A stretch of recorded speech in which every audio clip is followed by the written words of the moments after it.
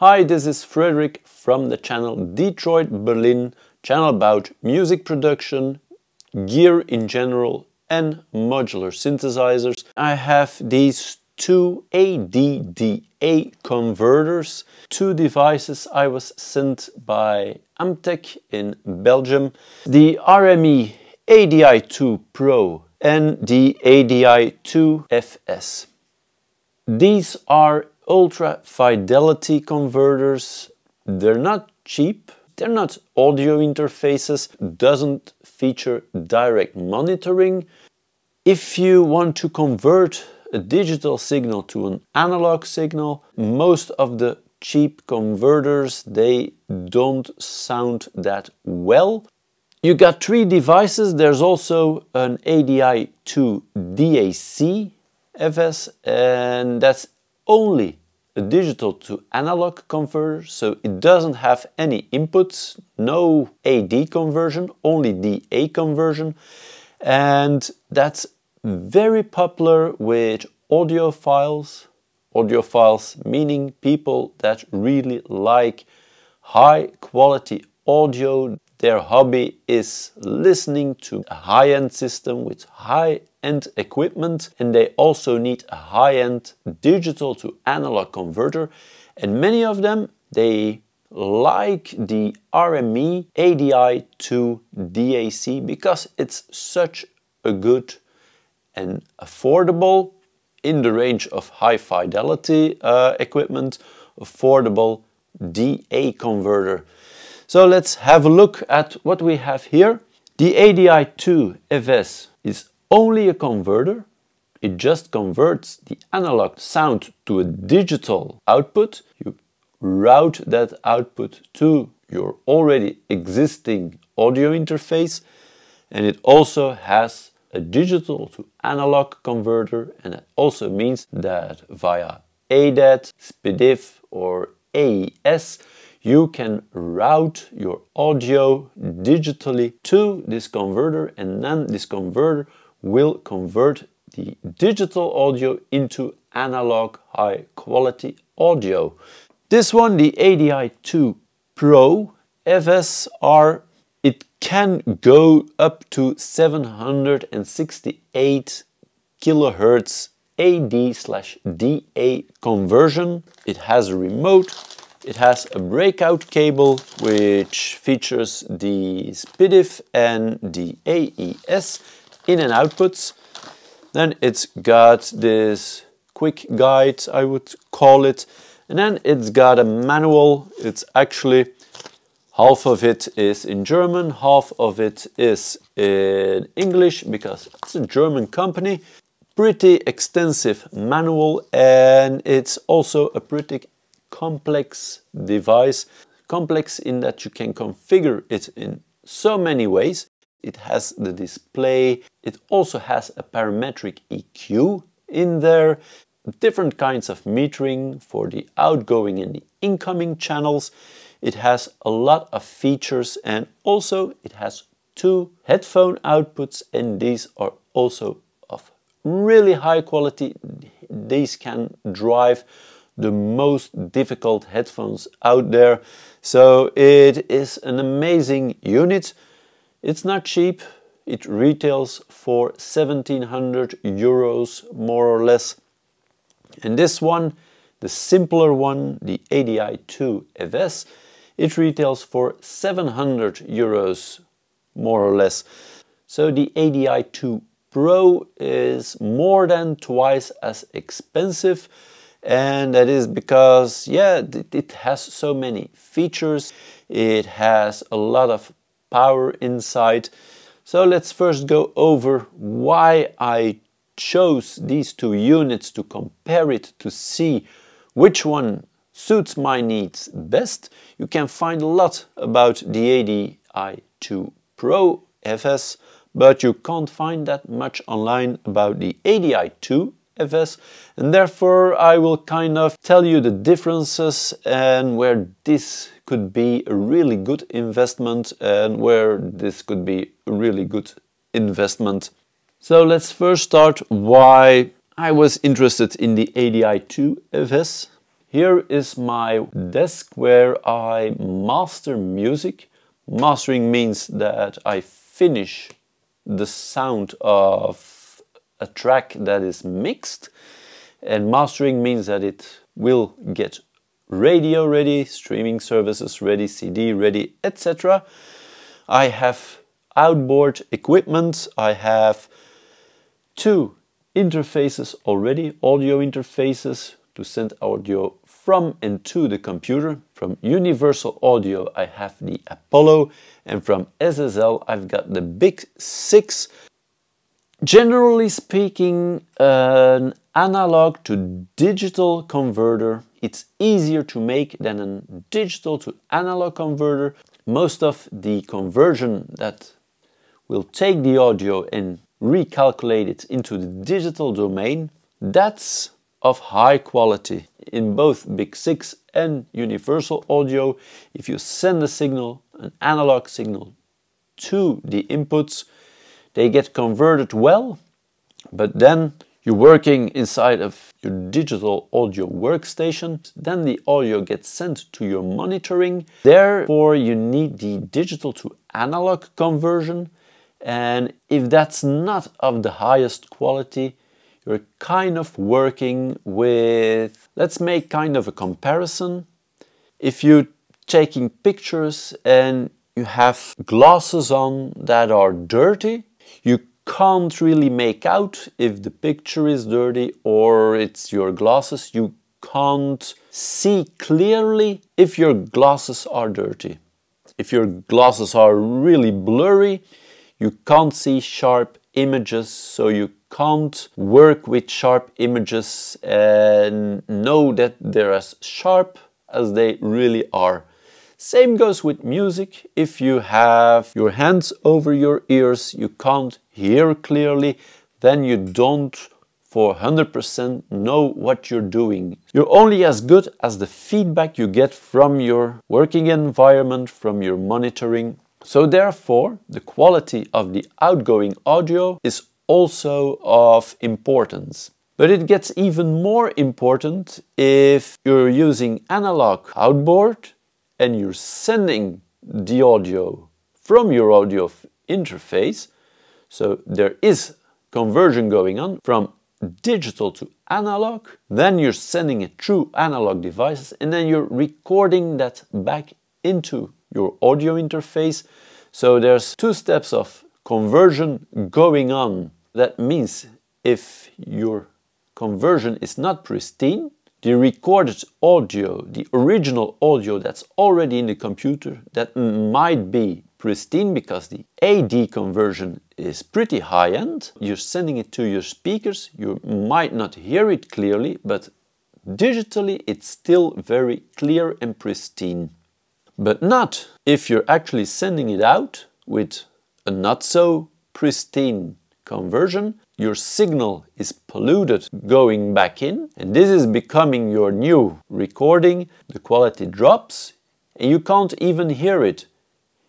You're listening to your system and nothing changes but the pristine quality that was there that you didn't hear because your digital analog conversion wasn't pristine and your monitoring didn't give you the right feedback, you will never notice that you're actually degrading audio quality. With high-end conversion, you still keep the audio as pristine as possible going out and then back into the computer. Therefore, it's very important, especially when you're in mastering, and I offer mastering services. If you need some, please look in the description. I will put a link to SoundBetter where you can hire me to master your music. So for audio mastering, it's really important to have the best conversion digital to analog because that's the place where you can really lose fidelity. Therefore, I was really interested in this one, the ADI2FS, because I already have an audio interface that has ADAT out, SPDIF out, and yeah, with this converter, I can just bypass the converters that are in the unit and I can use these converters instead. Still the sound card will remain the Apollo in my case, but the conversion of two inputs and two outputs will be done by the RME ADI2FS.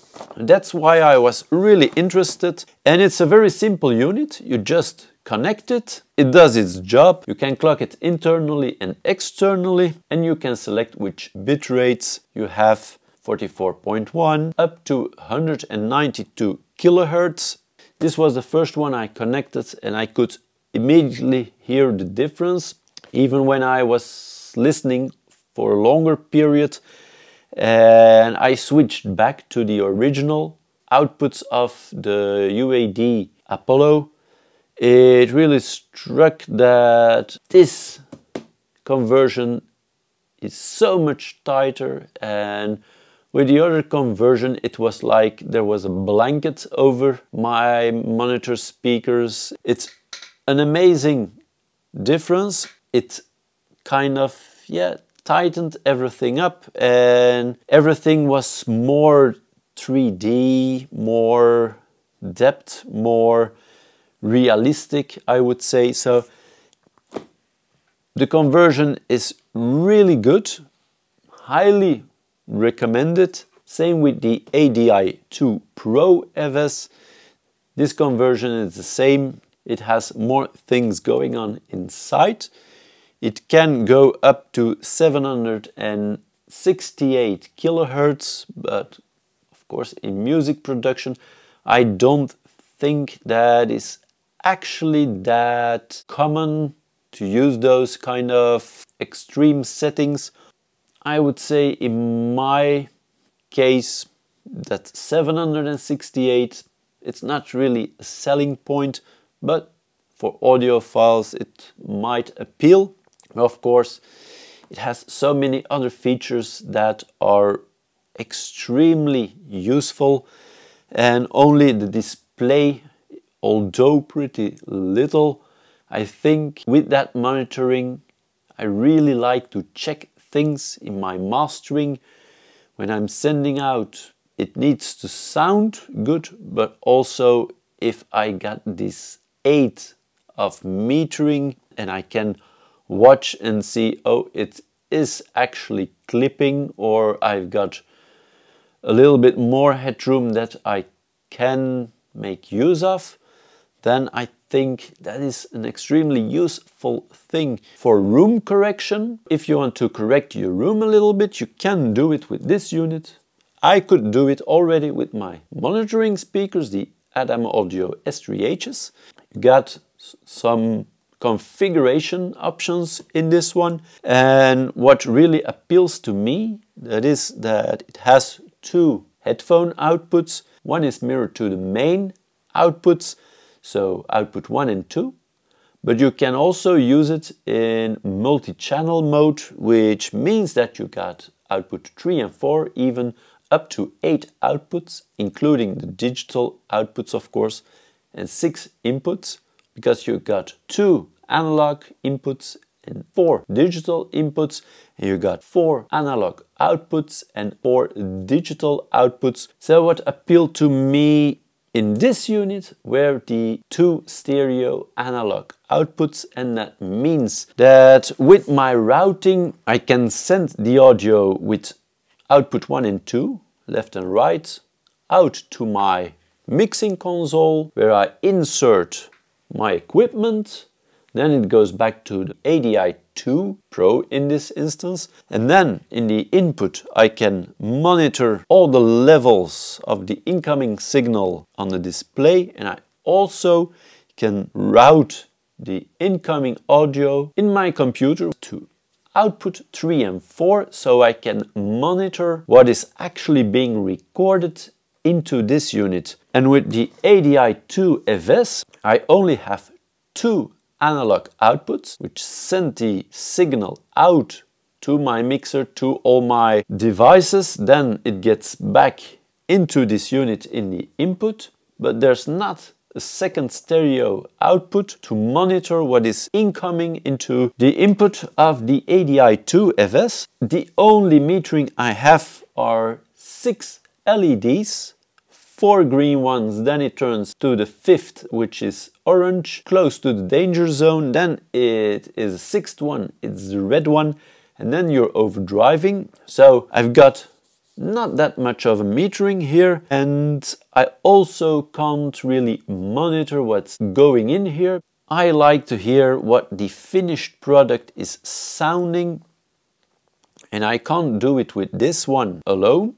I can do it with this one alone because it has two stereo outputs if you configure it this way. So this is a big advantage in my case. If I was just making music and recording but not routing out of the computer then back in, so I'm not looping and I need to monitor that loop. If I wasn't doing that, I would definitely go for this one. With this one you got pristine converters for the outgoing signal so you can hear what you're doing really well. Even if you have like a CD player that you want pristine audio, take the digital output of that CD player, route it to this one and you get an improved sound. It's a really nice device and for the price I think you get such amazing converters. I can totally recommend this unit. For my purpose, the benefit of the monitoring, the benefit of the display where I can look at the metering and monitor that, this one has such a big plus that I'm really tempted to go for this one. Of course, in case you don't have any audio interface, you could go for this one just for the outgoing audio, even if you're just listening to music, you want a good converter. This one I think is the one to get. If you have vinyl collection that you want to digitize, this has the input so you can record signal in really high quality. So this one, in my opinion, is actually even better than the ADI2 DAC because that one only has those outputs. It does have RCA outputs. This one has quarter inch jacks. And of course they all have these balanced XLR outputs. Let's look at the back. You got the ADAT or the SPDIF in and out optical you got a breakout cable, this one with the AES and the SPDIF. Then you got USB to connect it to your computer. Don't need another audio interface if you just want to connect it to your computer. To use it as the converter for your computer audio. With this one, you already need to have an audio interface with ADAT or SPDIF or AES. If your computer has ADAT output, you could also use this. Just go for this one. If you're a mastering engineer and you want something for mastering, I would say might go for that one. Also, if you want to be able to equalize your room so that if there are frequencies that building up in your room, then you can try to adjust it via the parametric EQ. So that's good for room correction. I think it's also a very pretty unit, but of course it's not cheap. I really would recommend both of these units, but like I said, each one has its own purpose. This one is way cheaper. It's only an ADDA converter of really good quality. Just go for this one if you have an audio interface with the right connections. If you have an audio interface like the Big 6 from SSL, it doesn't have any optical digital outputs or inputs. If you want to combine it, you need the ADI2 Pro. If you have like an Apollo and you just want the pristine conversion, I would say just go with the ADI2 FS it might be a little bit more limited than the other one, but this one is also way cheaper and yeah, I think that is a really good choice. If you're interested in buying one of these devices, I also got affiliate links in the description. If you follow those links and you buy something, even something else, then a small percentage will go to the channel and that keeps me running the channel. And yeah, I can do a lot more videos about yeah, music related stuff. So that would be very kind of you. So I would really like to thank you for watching. If you liked this video, please give it a thumbs up and subscribe to the channel if you haven't already. I'm doing a series about mastering. I'm also going to discuss all this equipment from EQs, tube EQs to Varitube compressors to VCA compressors to saturators and yeah, everything that you can use in mastering. Also have a page on soundbetter.com. So if you need some songs to be mastered, please go over there, hit me up, write me a message and I will come back to you. Thanks for watching and hope to see you soon.